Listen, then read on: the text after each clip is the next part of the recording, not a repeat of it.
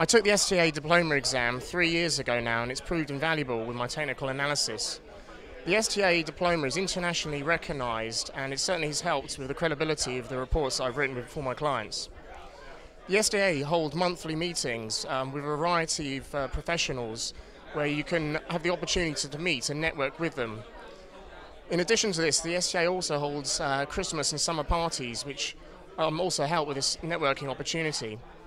For me, the STA really is um, somewhere where you can get a very good qualification, which is internationally recognised, but also, as well as that, it's somewhere where you can um, help build your network of um, other professionals within the industry.